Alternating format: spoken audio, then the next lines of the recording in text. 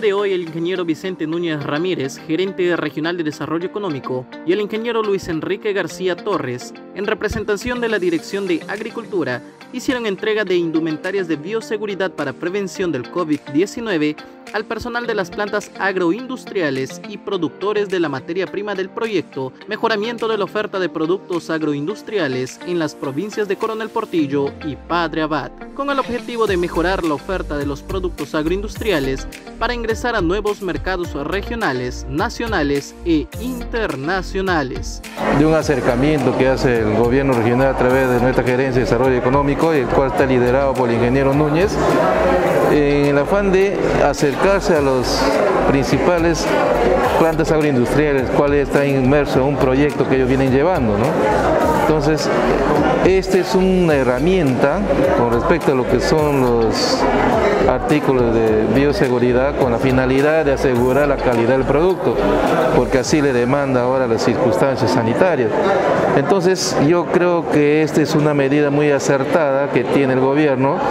Eh, regional de Ucayali de acercarse a ello con la finalidad de, fortalecer la capacidad de trazabilidad de su producto para conservar la calidad. Cabe mencionar que el proyecto viene trabajando con 36 plantas agroindustriales de 12 cadenas productivas, en el cual tienen un mínimo de 50 productos desarrollados en el mercado con la marca Ucayali, destacando que en el marco de este proyecto se realizó un plan de vigilancia, prevención y control del COVID-19 en el trabajo que contempla el apoyo a las empresas agroindustriales beneficiarias del proyecto. Casualmente para que estas pequeñas 36 agroindustrias no se paralicen, el gobierno regional Ucayali en el marco de esta bioseguridad que buscamos para todos los transformadores ya de la materia prima,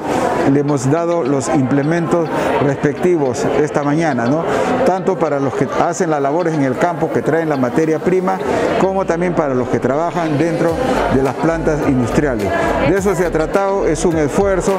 es digamos de alguna manera un incentivo para que ellos también puedan digamos seguir promoviendo y seguir sosteniéndose en todo este trabajo